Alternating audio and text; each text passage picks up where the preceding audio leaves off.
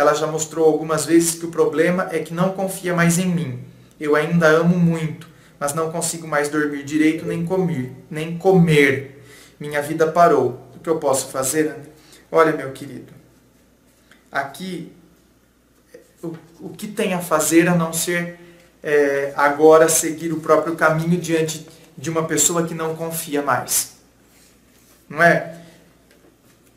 A gente às vezes pode mudar, mudar, a gente pode tentar mostrar que a gente se arrependeu, que a gente tem o propósito de mudança, porém tem duas alternativas.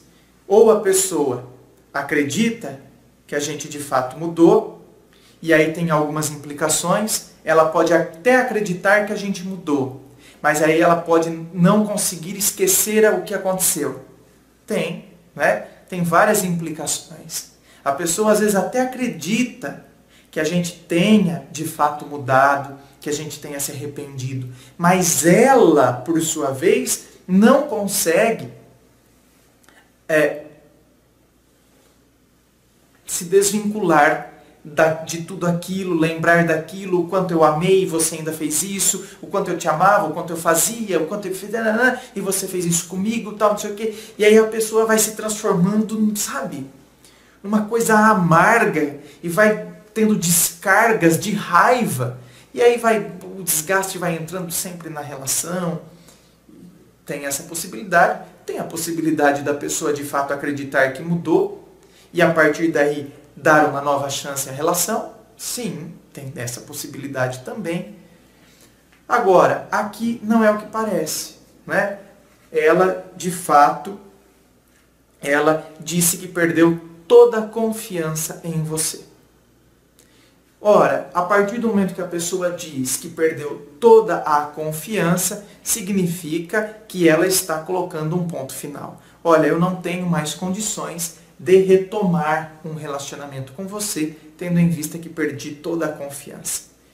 Diante disso, o que nos resta a não ser seguir o nosso caminho? A gente pode pedir desculpas, a gente pode falar, me desculpa, é, realmente não queria que isso tivesse acontecido. A gente é uma posição de humildade, de reconhecimento, de crescimento. A gente só cresce quando a gente reconhece os erros quando a gente de fato reconhece determinadas burradas que a gente fez, porém a história com esta pessoa em específico não dá mais. Não dá mais, gente. Tem determinadas histórias que não dá mais. Então a gente tem que encerrar o ciclo dessa história para que a gente possa continuar, para que a gente possa seguir. A pessoa optou por encerrar o ciclo conosco a partir do momento que ela diz: Eu não tenho mais confiança em você. Ela está encerrando o ciclo dela para conosco. Então, nós, em contrapartida, nós também temos que encerrar. Não transformando-a numa grande vilã porque não nos quer mais. Simplesmente porque agora assumimos o nosso erro, assumimos a nossa atitude, né? temos decência de assumir os erros e as atitudes feitas, as ações causaram essas reações, assumimos isso para conseguirmos encerrar também o nosso ciclo diante de uma pessoa que também encerrou, para que assim a gente possa continuar e seguir o nosso caminho, que assim a gente possa aprender, tirar lições de, dessa situação, para que de fato a gente possa, numa relação futura, valorizar, pensar antes de falar, ser menos imaturo, menos impulsivo.